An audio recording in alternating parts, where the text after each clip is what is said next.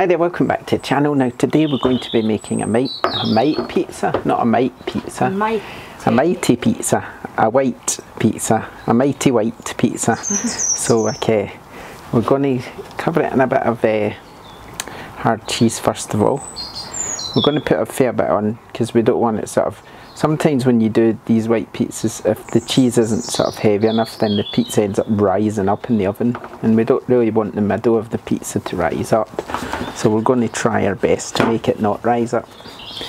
We've put a few wee fork pricks in it as well just to help it not rise up hopefully. So okay I'm going to make it with cheese and then we're going to show you the bit that we're going to do to decorate it afterwards. But uh, at the moment. It's just as simple as that.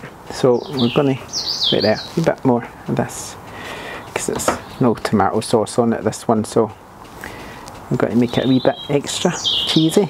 So there we go there's the cheese on. So we're going to put it in the oven now and then we're going to do the next part. Right I'm just going to uh, put the peel on slightly just to get it warm it won't take long to get warm in this oven because it's 450 degrees so nice and warm in there. So there we go. Onto the peel it goes. Oh and I just ruined That's it. cheese. I just moved all my cheese. I'm sure the dogs will eat that, mate. look at that. I've completely messed it up. Right let's try that again. Get the cheese evenly spread about the pizza. It will melt that's a good thing about cheese I guess. Isn't it? Uh-huh. Right. It's round as I want it. It's going in the oven. So let's do it. Let's put it in. In you go. Right. Once I get it round. Because I'm a sucker for it being round. You? Oh, ah, I like it being round though. You don't understand how important that is to me. About as important as me. Right, and it goes. Let's kick that, and we'll do the next bit. Woo.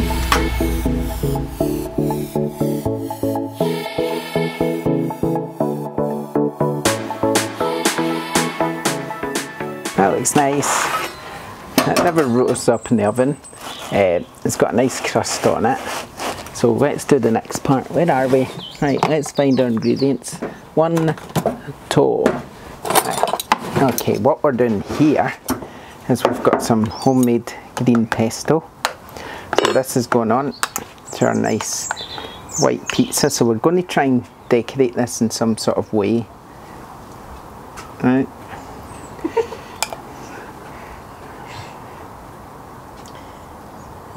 A square. What are you doing? I don't know. I told you we wing it on this channel. Okay, so there's our cube. green pesto and we've got some homemade red pesto. This is um, very Italian themed coloured pizza, this. Yes. So I don't really know what I'm meant to be doing to decorate this. But okay, let's just wing it. So we've got Radio. right.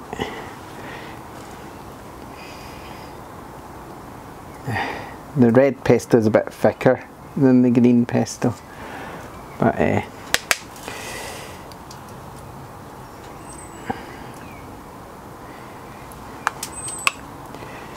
there we go that side as well. If it'll come off the spoon.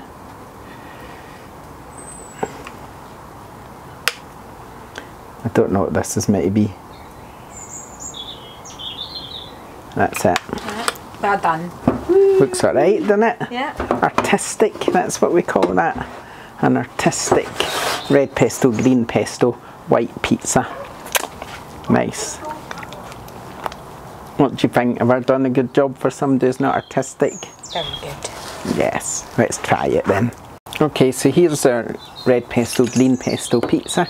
It's kind of, this is my attempt at something artistic. This is my little abstract pizza, shall we call it. There's the bottom. It looks quite nice. Okay. And here is the bite. Mm, it tastes good. It's different. You've got this, obviously, putting red pesto on there. It's about like putting tomato on there. Sun-dried tomato, red peppers, tiny bit of chilli, olive oil, some pine nuts, wee bit of basil. So it's, quite close to tomato sauce. Basically, it's just a fancy tomato sauce. Green pesto, same sort of thing. Cheese, basil, olive oil, garlic so they quite complement each other. If you were going to put pesto on a tomato pizza, for instance, it's just kind of the same, it's just a bit fancier. So yeah, it tastes nice. I think it looks good. I'm not sure you will, but you can tell me if you think it looks good. I think it looks alright. Yeah, so that's it. That was our wee out the box idea. Why not try these things? Just try. If you don't succeed, or if it if it comes out wrong, it doesn't matter. At least you tried something different. You never know, you might create the next masterpiece piece that everyone's talking about. So give it a go. Experiment, like, subscribe, leave comment, check it book. We'll see you next time. Bye.